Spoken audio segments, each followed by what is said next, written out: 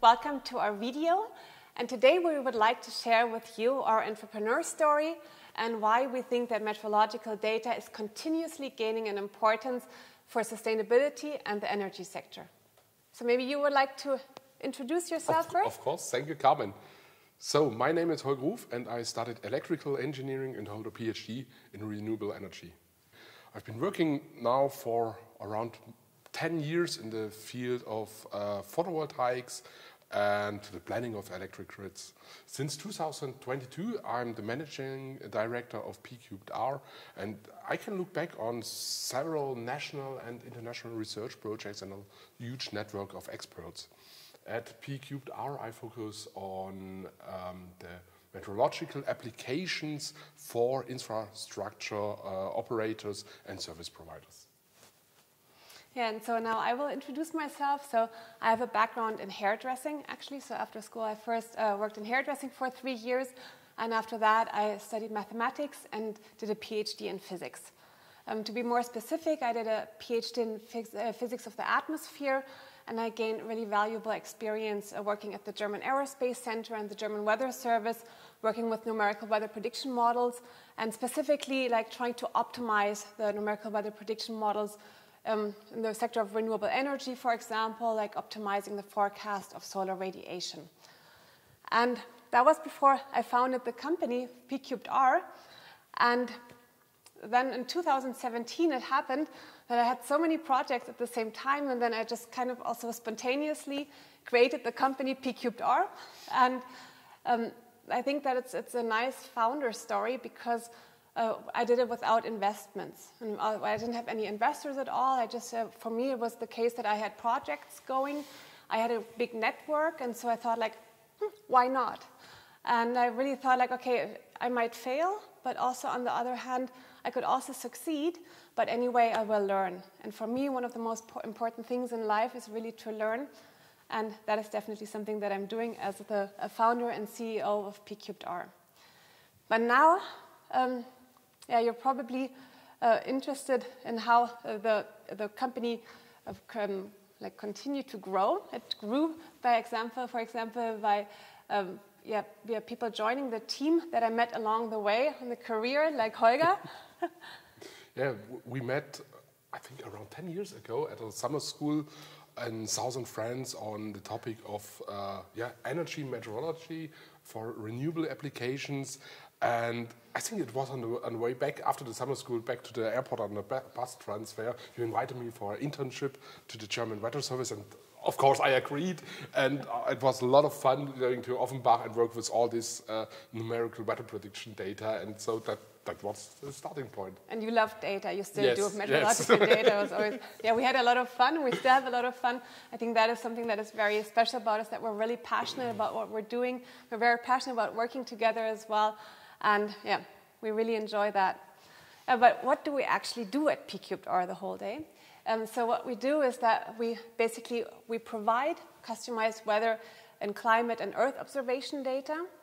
We filter out uh, the relevant information for our customers because there's just this huge amount, a vast amount of data available, especially also in the meteorological sector. And so we kind of choose for the customers what they really need.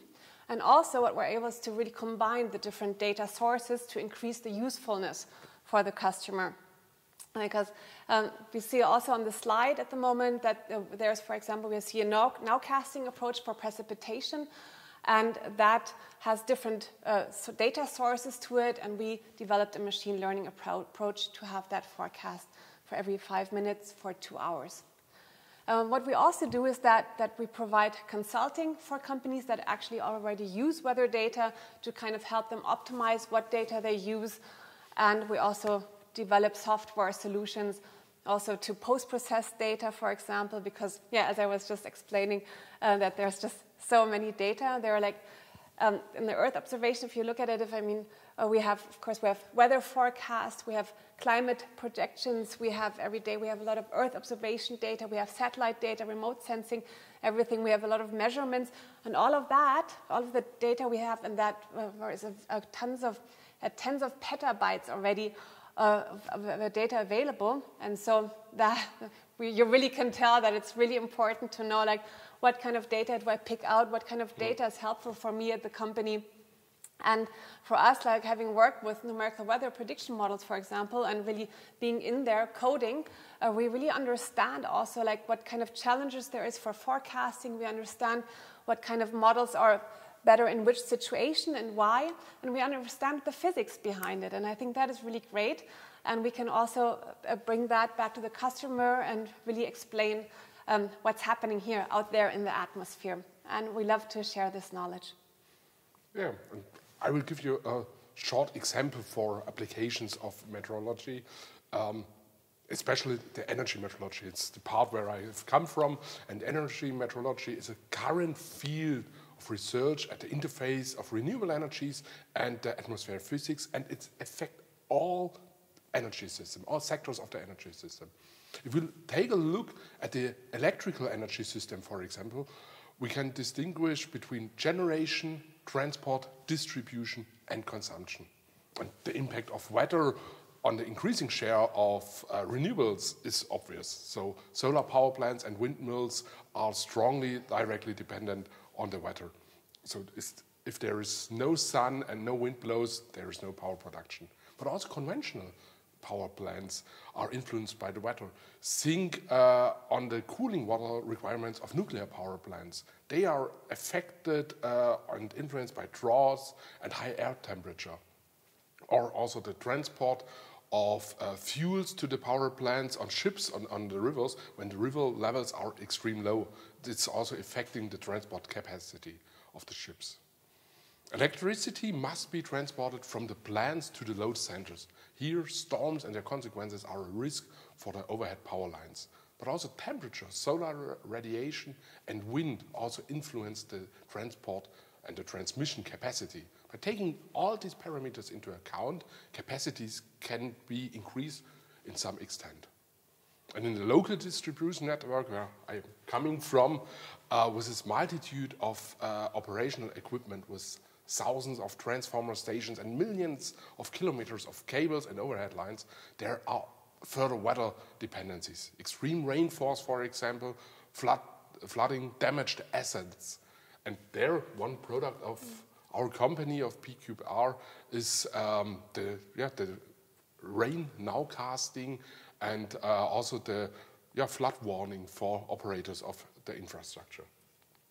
Last but not least, uh, the consumer side is we are all consumers. We are all consumers of the power grid, and also the consumption is uh, dependent on temperature, on, on the weather. Uh, so for one example is the temperature dependence on, of the consumption for heating systems.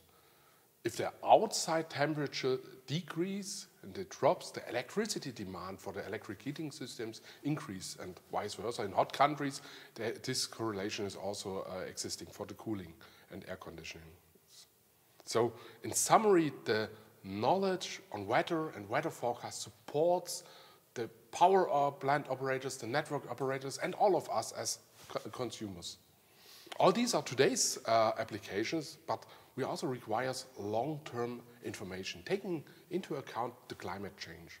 If a grid operator today installs some new equipment because of the integration of renewables or electromobility, these assets not are only running for years, they are running for decades. And then it naturally raises the questions, what are the environmental conditions in the next 30 or 40 years? What temperature will be there? And what is the new normal? What extreme weather situations will occur? And this is where we also collect and uh, provide data from the climate projections to our uh, clients. But also the meteorological system can also benefit from the large amount and the tons of measurement data provided by the energy system, by all the local measurements of, of the decentralized power plants. Because we absolutely love measurement data, of course, especially if it's high quality and we really can assess um, the error, or hopefully a little error only, and especially if we have long uh, um, um, time series, for example, for measurements, and all of those, the high standard measurements help us to, on the one hand side, to verify and validate our models, but on the other side also helps us for, for example, machine learning applications.